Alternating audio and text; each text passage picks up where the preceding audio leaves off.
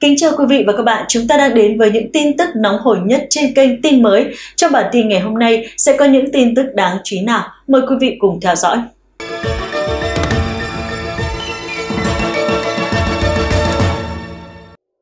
Bản tin lũ lụt Trung Quốc mới nhất ngày 31 tháng 7 năm 2023. Thưa quý vị, trong khi những cơn mưa xối xả ở miền Nam Trung Quốc vẫn đang tiếp diễn và thành phố Nghi Sương, tỉnh Hồ Bắc xuất hiện lũ lụt, thì ngày hôm nay 31 tháng 7 ở thành phố Kinh Môn, một thành phố khác cũng thuộc tỉnh Hồ Bắc và nằm ngay sát đập Tam Hiệp đã xuất hiện lốc xoáy. Cùng ngày, Thượng Hải cũng xuất hiện dị tượng đột nhiên trời tối sầm, mưa tuôn xối xả. Thời tiết ở Trung Quốc đại lục gần đây cực kỳ bất thường với những cơn mưa bão và lũ lụt nghiêm trọng. Mưa lớn ở Nghi Sương, Hồ Bắc vào ngày 25 tháng 7 đã gây ra sự gián đoạn giao thông. Đến ngày 26 tháng 7, một cơn lốc xoáy xuất hiện ở Kinh Môn, Hồ Bắc vào lúc 7 giờ tối. Một đoạn đường gần thôn Song Tuyền đã bị lốc xoáy quét qua, khiến cho hàng chục cây lớn dọc bên đường bị bật gốc. Lượng lớn giàn lưới bị thổi tung, các tấm tôn bị cuốn cong vênh biến dạng. Hiện trường là một khung cảnh hỗn độn, các công trình nhà ở và phương tiện xe cộ tại một số trang trại gần đó cũng bị hư hại, tạm thời không có thương vong nào được báo cáo. Từ video trên mạng có thể thấy, khi cơn lốc xoáy tập kích, bầu trời đột nhiên trở nên âm u gió mạnh, phá hủy các dây điện trên đường và làm lóe lên tia lửa điện. Những cơn gió mạnh cũng đánh sập các lều lán ở nơi đây, cây cối và biển báo trên đường bị gãy đổ. Một lượng lớn mảnh vỡ đã bị thổi bay vào không trung. Một số phương tiện bị gió xoáy quăng quật làm hư hại. Cho đến nay, các cuộc thảo luận trên Weibo với tiêu đề lốc xoáy ở Kinh Môn, Hồ Bắc đã thu hút gần 80.000 người theo dõi. Cư dân mạng bình luận năm nay làm sao vậy? Một năm với nhiều thiên tai và khó khăn. Ôi, đây đích thực là thiên tai rồi, đáng sợ quá. Thật không ngờ là kinh môn lại thành từ khóa trên mạng sau trận lốc xoáy này.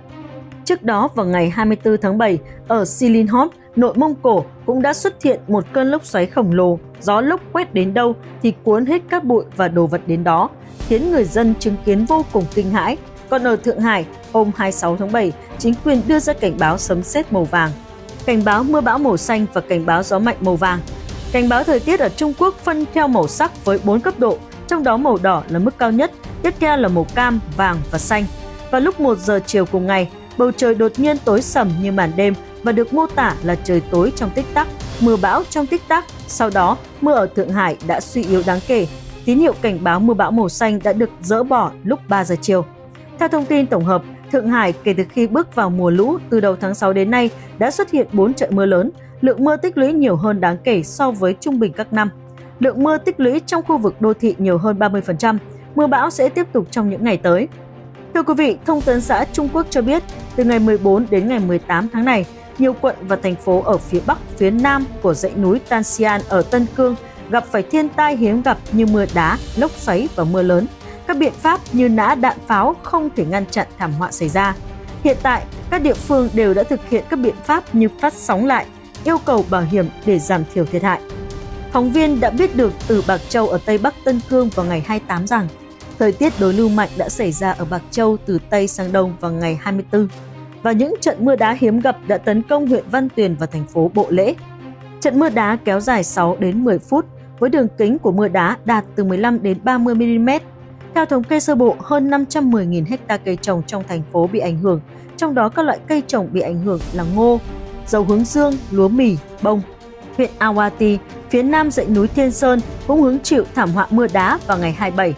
Theo thống kê sơ bộ, thiên tai đã khiến tổng cộng khoảng 75.000 hecta hoa màu trong huyện bị thiệt hại, thiệt hại kinh tế hơn 110 triệu nhân dân tệ. Địa phương này là vùng sản xuất bông dài, chủ lực lớn nhất ở Tân Cương, do các cánh đồng bông đã đến thời kỳ ra hoa và đơm bông quan trọng nên các cánh đồng bông đã bị ảnh hưởng rất nhiều. Ngoài các quận và thành phố nêu trên, Atut ở phía tây nam của Tân Cương cũng gặp phải trận mưa đá hiếm gặp trong hai năm qua vào chiều ngày 27. Quận Hebusur ở góc tây bắc của Tân Cương cũng hứng chịu mưa đá. Diện tích bị ảnh hưởng của quận lên tới 10 km vuông. Độ dày trung bình của hạt mưa đá là 8 cm. Đường kính lớn nhất của hạt mưa đá là 1 cm thị trấn Sakobu, huyện Jiangsu đã bị một cơn lốc xoáy hiếm gặp tấn công vào ngày 25. Tính đến chiều ngày 27 tháng 7, trận lốc xoáy đã ảnh hưởng đến tổng số 3.074 nhân khẩu thuộc 714 hộ gia đình, làm 39 người bị thương, nhiều gia súc bị chết, hư hỏng nhà cửa và các công trình khác.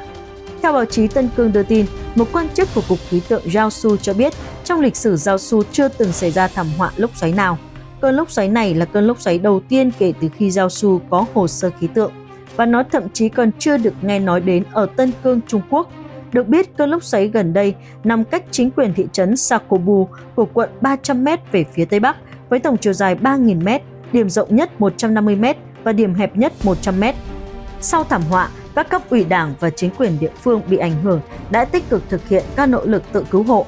Cục Nông nghiệp Boju đã tổ chức hơn 50 nhân viên khoa học và công nghệ, nông nghiệp và nhân viên quận và thị trấn để tìm hiểu tình hình thiên tai từ làng đến hộ gia đình và thực hiện tự cứu hộ sau thiên tai với những người bị ảnh hưởng, cung cấp hướng dẫn cho những người bị ảnh hưởng khôi phục sự phát triển của các loại cây trồng bị ảnh hưởng và đã làm tốt công việc khôi phục sự phát triển của cây trồng và gieo hạt bằng máy móc nông nghiệp phân bổ công cụ, sử dụng dơm dạ hiệu quả sau thiên tai và lưu trữ các vật tư nông nghiệp như phân bón, hạt giống cải tiến và phim hướng dẫn nông dân tự thực hiện trong sản xuất và đời sống.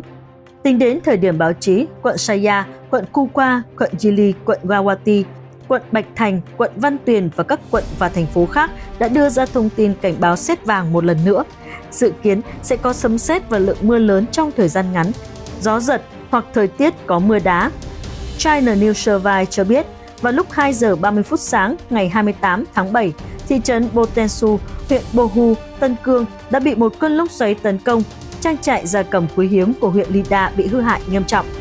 15 ngôi nhà trong trại bị tốc mái, hơn 3.000 con chim quý hiếm bị mất tích hoặc chết, thiệt hại kinh tế lên tới 1,47 triệu nhân dân tệ. Theo báo cáo, cơn lốc xoáy là cơn lốc xoáy đầu tiên xảy ra ở quận Bohu, Tân Cương kể từ khi có hồ sơ khí tượng Wu Dexiang, quản lý của trang trại chim hiếm Lida ở quận Bohu cho biết sức gió trong thị trấn đã đạt cấp 7 kể từ chiều ngày 27 tháng 7. Trang trại đã phải hứng chịu một đòn chí mạng. Su Tao, thị trưởng thị trấn Botensu, huyện Bohu cho biết, do vị trí địa lý và môi trường đặc biệt của thị trấn nên gió là phổ biến. Người dân địa phương có kinh nghiệm phòng chống gió nhưng họ chưa từng bị lốc xoáy tấn công. Sau khi thảm họa xảy ra, các nhân viên có liên quan từ thị trấn Botensu đã ngay lập tức đến hiện trường và làm việc với trang trại để tìm lại những con chim quý hiếm bị mất tích, phối hợp với Sở Điện lực để sửa chữa mạch điện kịp thời và tổ chức các cán bộ thị trấn và cán bộ nhóm công tác thôn để giúp đỡ thu dọn hiện trường. Thưa quý vị, nhiệt độ cao ở nhiều nơi ở Trung Quốc đã khiến cho lốc xoáy tấn công nhiều tỉnh thành ở miền Đông, khiến một người thiệt mạng và 25 người khác bị thương. Cơn lốc xoáy đã xé toạc 11 ngôi làng ở miền Đông Trung Quốc, làm hư hại nhà cửa. Đồng thời, những vùng rộng lớn của Trung Quốc đang trải qua nắng nóng cực độ. Tại tỉnh Giang Tô, hơn 2.000 người đã bị thiệt hại do lốc xoáy hôm thứ Tư vừa qua. Global Times trích dẫn báo cáo của phương tiện truyền thông địa phương cho biết thiệt hại kinh tế trực tiếp ước tính khoảng 65 triệu nhân dân tệ, lốc xoáy tương đối hiếm ở Trung Quốc. Nhưng năm ngoái, Giang Tô và Vũ Hán đã bị lốc xoáy tấn công, khiến 12 người thiệt mạng và hơn 300 người bị thương. Trận lốc xoáy dữ dội nhất ở Trung Quốc trong những thập kỷ gần đây xảy ra vào năm 2016, khiến 98 người thiệt mạng và hơn 800 người bị thương ở Giang Tô. Giống như phần lớn bán cầu Bắc, các khu vực của Trung Quốc đã chứng kiến nhiệt độ cao kỷ lục vào mùa hè này với lượng mưa lớn bất thường làm trầm trọng thêm lũ lụt theo mùa. Biến đổi khí hậu được cho là một yếu tố dẫn đến nhiệt độ cao hơn, lượng mưa nhiều hơn và thời tiết khắc nghiệt xảy ra thường xuyên hơn. Dự báo thời tiết cho biết khu vực Tân Cương ở Tây Bắc Trung Quốc, Trường Sa và Nam Sương ở trung tâm, Phúc Châu ở Đông Nam sẽ trải qua nhiệt độ cao tới 43 độ C vào cuối tháng này. Mặc dù không có trường hợp tử vong nào liên quan đến nắng nóng được công bố, nhưng chính quyền địa phương đang thực hiện các bước để giúp đỡ những người không có điều hòa nhiệt độ hoặc những người làm việc ngoài trời. Tại thành phố Nghi Sương, miền Trung Trung Quốc, những chiếc xe buýt nhàn rỗi dừng tại 8 địa điểm xung quanh thành phố vào buổi trưa để cung cấp chỗ ở mùa hè miễn phí cho công nhân xây dựng và những người làm việc ngoài trời khác, Tân Hoa Xã đưa tin.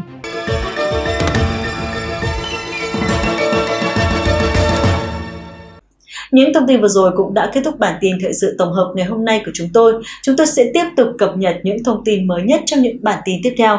Quý vị hãy đăng ký kênh tin mới để theo dõi. Còn bây giờ, xin chào và hẹn gặp lại.